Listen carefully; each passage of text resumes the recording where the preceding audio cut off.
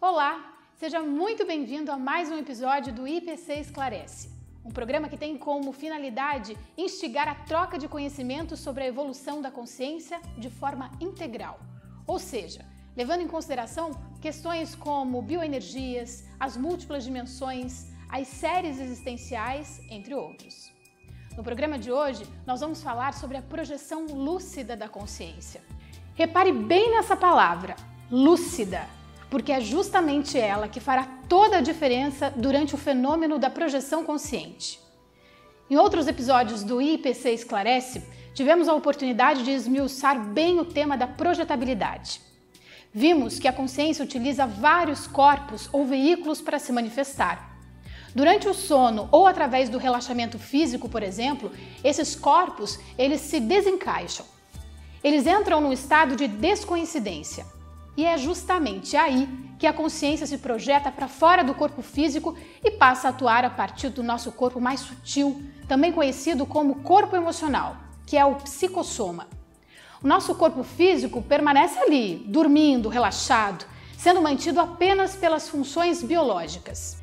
Enquanto isso, a nossa consciência, que se manifesta agora de psicossoma, pode atuar de maneira livre na dimensão extrafísica.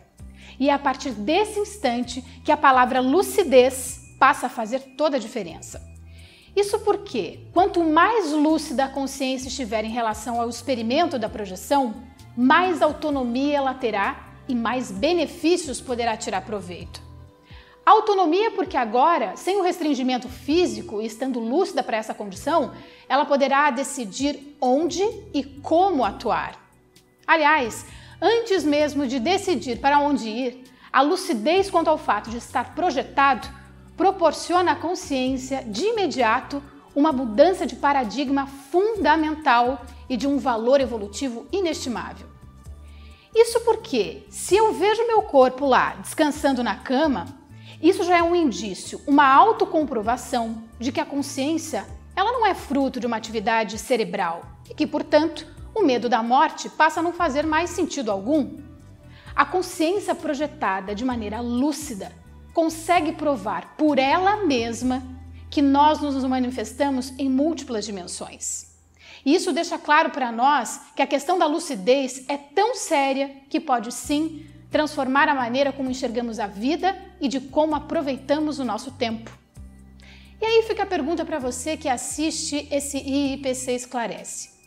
O fato de você ter certeza da imortalidade da sua consciência traria alguma mudança na maneira como você encara essa experiência aqui no mundo físico? Um convite aí para você refletir. Continuando a falar sobre lucidez, ela pode variar bastante durante uma experiência projetiva. Por exemplo, durante a projeção inconsciente, a pessoa sai do corpo, mas não tem lucidez nenhuma sobre o fato. É o que acontece hoje, infelizmente, com a grande maioria das pessoas. Também há a projeção semiconsciente, que é quando o indivíduo sai do corpo, mas com um nível de lucidez ainda reduzido, levando a pessoa a misturar sonhos, que são frutos do nosso inconsciente, com a realidade extrafísica que percebe.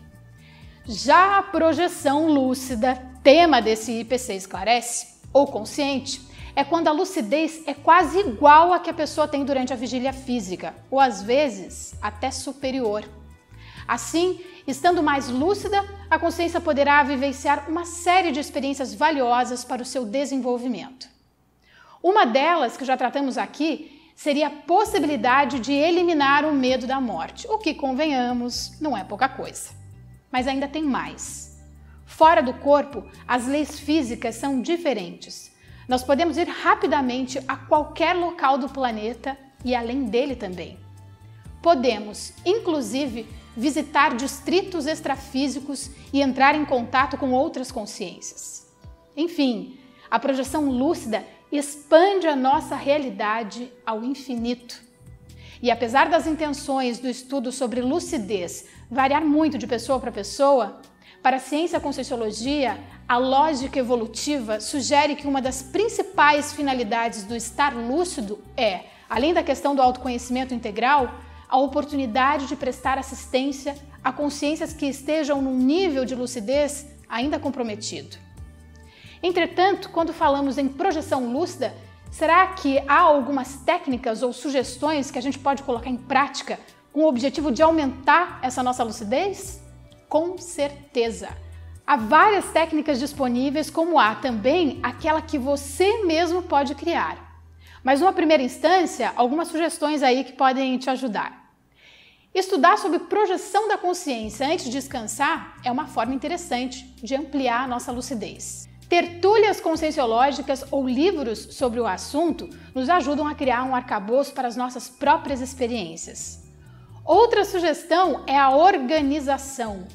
Sim, esse item é bem importante. Vale deixar o local onde você dorme limpo, organizado e, de preferência, sem nenhum objeto eletrônico.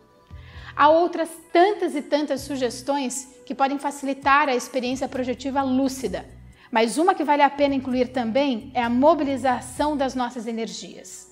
Então, antes de tentar o seu experimento projetivo, mobilizar intensamente as suas energias conscienciais durante pelo menos 10 minutos, absorvendo, circulando e exteriorizando as suas energias conscienciais e imanentes usando a vontade decidida.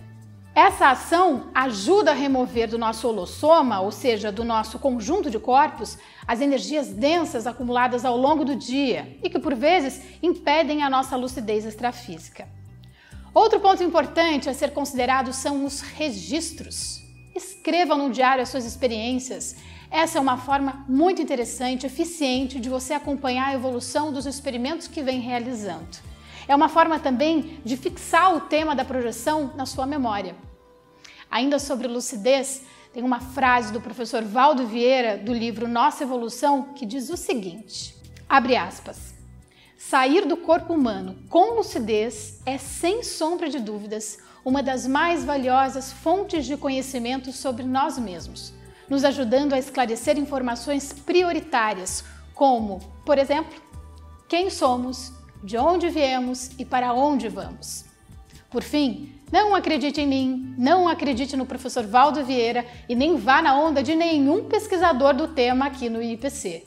Conheça, estude, pratique e tenha as suas próprias experiências. Um grande abraço e até o próximo IPC Esclarece.